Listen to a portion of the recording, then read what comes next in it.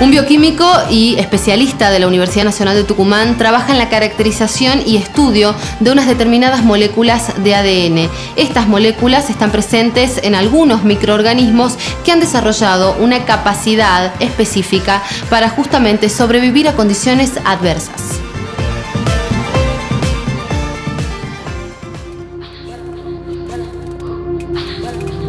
Eh, bueno, con la doctora Farías eh, me inicié eh, haciendo mi tesis doctoral. iniciamos investigando unas lagunas de altura del noroeste argentino donde hicimos unos estudios de ecología microbiana, o sea, determinar en esas lagunas qué tipo de microorganismos viven, cómo viven, cómo resisten las condiciones extremas de este tipo de, lagunas ya que se encuentran a más de 4.000 metros de altura, están completamente aisladas, es eh, muy difícil llegar a ellas. Trabajos preliminares con la doctora Farías habíamos visto que muchas de estas bacterias eh, tenían una molécula de ADN independiente del, del, ADN cromosomal, que son los denominados plásmidos. Y eh, entonces lo que pensamos que la resistencia a muchos de los factores eh, medioambientales de las lagunas de altura podían estar codificados en estos plásmidos. Esa fue la pregunta que fui, digamos, a responder en Europa. ¿Cuáles eran las funciones de estos plásmidos eh, dentro de las bacterias? Bueno, un plásmido en sí es una, como te comentaba, una molécula de ADN eh, más pequeño que el ADN cromosomal y que se replica de forma independiente.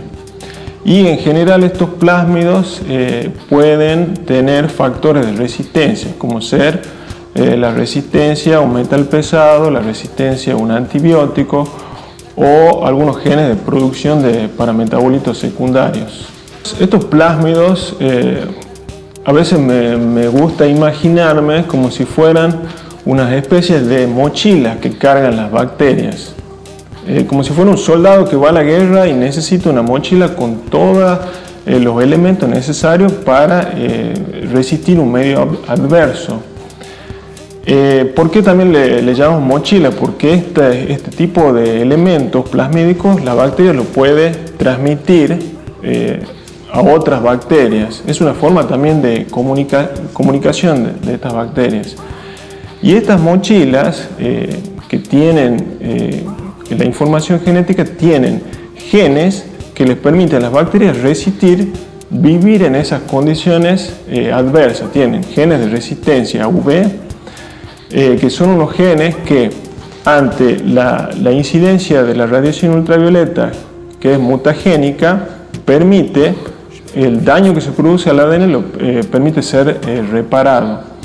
También encontramos en este tipo de mochilas de información genética eh, la información necesaria para resistir eh, muchos metales pesados que son comunes en estas bacterias, como ser el, arsénico, que es otro, otra línea de investigación que se hace también en los laboratorios. Estos trabajos son de ciencia básica, pero la ciencia básica es muy importante porque a partir de ella eh, se generan, digamos, los grandes descubrimientos. Estos genes de resistencia UV son genes que resisten, digamos, a la, de alguna forma agentes mutagénicos. Y en el futuro yo pienso que se podrían utilizar, eh, por ejemplo, eh, una aplicación en el cáncer.